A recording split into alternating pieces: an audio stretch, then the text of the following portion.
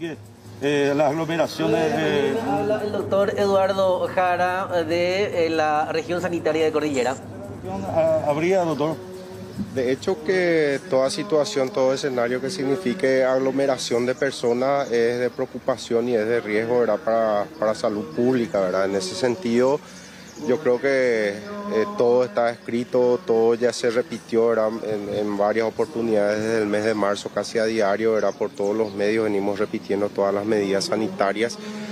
Y de hecho, verdad que el relajamiento de la gente también en las últimas En semanas... instantes es- compartimos esa nota en extenso, hay más novedades. Sí, eh, a esta reunión precisamente que se desarrolla, eh, está, está Joel, está con el ministro. un misional que tiene y 4.000 se le ha reasignado. A la DIVEM, la Dirección de Beneficencia, eh, le hemos reasignado de modo a poder encontrar la forma más adecuada de poder administrar el- lo que va a ocurrir, digamos, en estas fechas. Eh, sabemos ya que hay una invitación a, a vivir estas festividades marianas desde las comunidades, a no acudir aquí al- al- a, a la basílica. Eh, sin embargo, también vemos que hay algunas personas que están visitando, entonces asegurarnos de que eso se haga de una manera ordenada. Entonces, eso es lo que vamos a discutir eh, en- a grandes rasgos. ¿verdad? ¿Van a proponer la fase cero para esas fechas?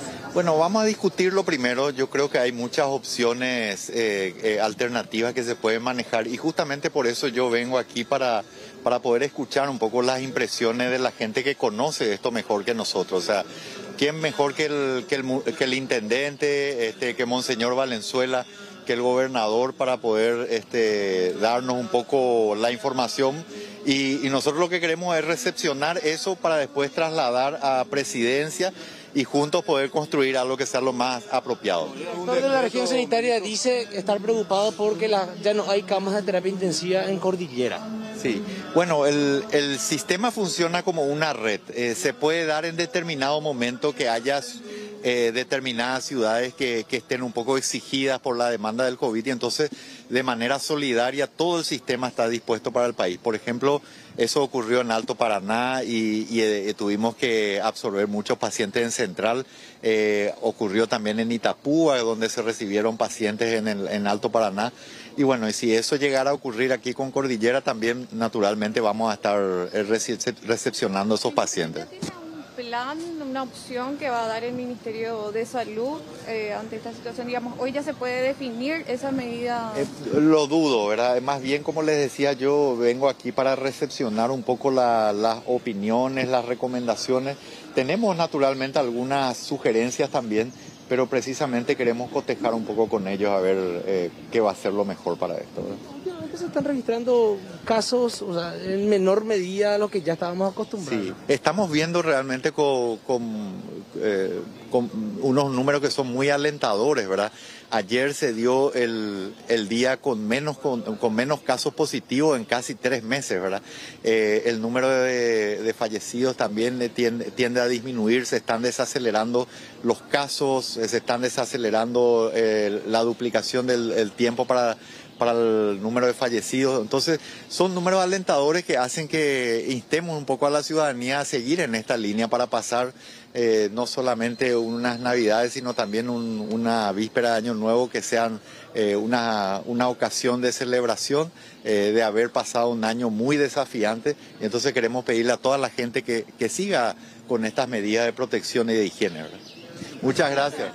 El ministro Julio Mazzoleni, hablando un poquitito eh, antes de ingresar aquí a la sede del obispado, ya en compañía de las autoridades del departamento de Cordillera, escuchábamos eh, así, eh, tenemos números alentadores para seguir instando a la gente a no bajarlo la guardia y a seguir cuidándose para así pasar los próximos meses eh, de una forma un poquito más amena y diferente a lo que ya estábamos acostumbrados a vivir eh, en, en confinamiento, en toda esta cuarentena.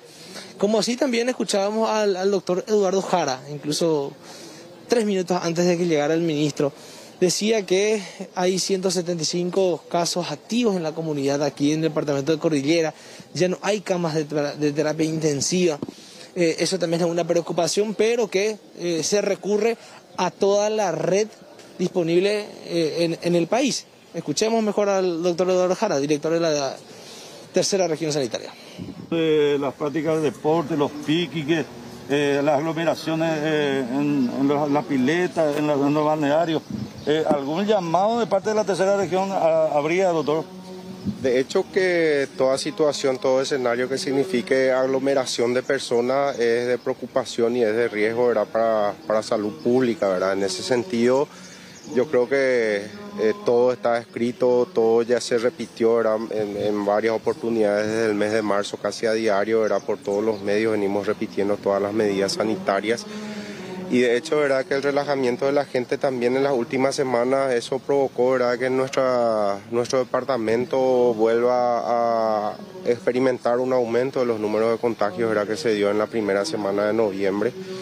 Y eso preocupa y nos pone nuevamente en alerta, ¿verdad? Seguramente que eso también se va a hablar en, en- el transcurso de la mañana, ¿verdad? Con todas las instituciones para ver, ¿verdad? Qué medidas adoptar conjuntamente salud pública, como así también con los otros órganos eh, del orden público, Policía Nacional y también la Municipalidad Local de Cacupé. Cuando hablamos de este aumento en números, ¿cuánto, eh, ¿de cuánto estamos hablando de la última semana? En la última semana hablamos de un promedio diario entre 25 a 30 eh, contagios diarios, cuando ya los números estaban en, en descenso en un promedio de 8 a 10 diarios en, en las últimas semanas del mes de octubre. ¿Pero de cuántos activos hablamos? Activos en el departamento actualmente tenemos registrados 175. De hecho que sí es preocupante porque eso también se traduce en un mayor ingreso de hospitalarios, ya sea en urgencias, en sala común y también en terapia intensiva, que hoy amanecimos con una ocupación del 100% de, de camas en nuestra terapia intensiva. Ya no hay lugares entonces en terapia. En nuestra terapia intensiva hoy no. ¿Y dónde se le ocurre después de eso? Y tenemos la las otras redes, ¿verdad? Hospital Nacional de Itagua, Hospital General de Luque, el INERAM, como así también otros, otros servicios que también ofrecen terapia intensiva dentro de la red del sistema de salud público Ahora, paraguayo. Respecto a la actividad de cada cupé, director, teniendo en cuenta los números, ¿ustedes consideran que es apropiado en instalar esta fase cero? ¿Es también lo que ustedes apoyarían si es que propone esto el mismo ministro de Salud? De hecho, que cualquier elemento que pueda servir para restringir la aglomeración de gente, salud pública va a acompañar. ¿Por qué? Porque es sabido, ¿verdad?, que la gente que viene hasta acá a Cupé en estas fechas festivas vienen de distintos puntos del país y el virus no se va a instalar solamente acá en Cacupé, sino que se va a instalar en distintos puntos del país y entonces eso es riesgoso y es peligroso para una probable segunda oleada que se está dando en todo el mundo. Ahora, la colega, la colega habló de, de fase cero, por ejemplo. Eh, sin embargo, la, cuarentena ya va siendo levantada. O sea que hay una contradicción, no sé si de parte del ministerio en ese orden. Mira, nosotros en ningún momento hablamos de fase cero, sí de buscar algún elemento de poder restringir la aglomeración de la gente, ¿verdad? Eso ya seguramente la gente también que maneja eh, lo- los órganos de control jurídico seguramente también van a sentar postura al respecto. Doctor, eh, Todo esto va a usted ser como anfitrión plantearía al ministro, ¿verdad? Mayor control en ese orden. medidas que se van a tener adelante, digamos, la ocupación de camas, el aumento también de los números de, de casos activos. De hecho que la situación epidemiológica como es dinámica también, eso es directamente eh, relativo con respecto a tu consulta. Doctor, decía, eh, usted como conocedor acá de la zona ya, que vive día a día esta situación, plantearía al ministro ¿verdad? y a otras autoridades también mayor refuerzo eh, en todos los órdenes en cuanto al cuidado de la salud. De hecho que Salud Pública se preparó desde el inicio para el peor escenario. En ese sentido hemos, hemos eh, incorporado ¿verdad? alrededor de 180 funcionarios de blanco desde el inicio de la pandemia entre médicos, enfermeros, personal de limpieza, choferes de ambulancia para poder reforzar los distintos servicios de salud del departamento. En ese contexto se han aumentado al 100% la- el número de camas en terapia, por ejemplo, ¿verdad? que prepandemia eran cuatro, hoy tenemos ocho. El Hospital Regional de Cacupé que quedó exclusivamente para atención de los pacientes respiratorios y fortaleciendo los otros hospitales distritales.